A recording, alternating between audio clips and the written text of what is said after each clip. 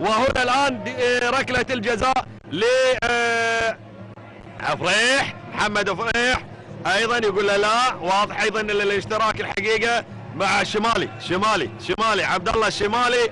وين رايح يا الشمالي؟ خلها المدافعين انت لاعب وسط. لكن خلاص بتي الكرة ويدي ركلة الجزاء. ركلة جزاء الآن خالد الرشيدي يا ما يتألق في ركلات الترجيحيه وهذه لا ركلة جزاء هذه يحسب منها هدف ويسجل في قائمة الهدافين أيضا. ركلة جزاء ركلة جزاء. ألتون جوزيه البرازيلي والرشيدي. الرشيدي جول! قوية! داخل المرمى لإلتون جوزيه إلتون جوزيه البر الله يرحمها.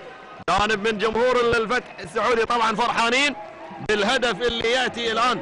في الدقيقة آه، 29 لم يتهنى العربي بهدفه.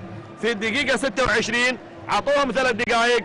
عبد الله الشمالي بركلة جزاء يعني